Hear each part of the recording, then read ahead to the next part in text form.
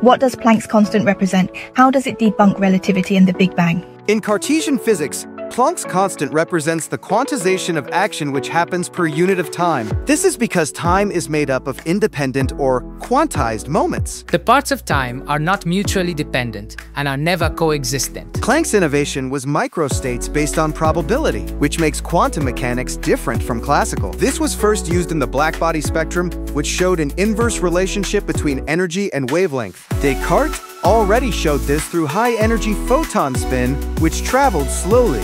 Energy is really effort. H, the ratio of time-space to ether-space. F is the ratio of ether-space to space-time. This is simplified too. Spin causes differences in time and space. We use this to debunk fallacies like relativity, Big Bang, wave-particle duality, while proving levitation, teleportation, free energy, aging, etc. In future videos to prove that Cartesian physics had classical and quantum mechanics united from the start. Thanks for watching! Please like the video so we'll make more of it or dislike it so we'll make less. Subscribe or share a video to let us focus on that topic.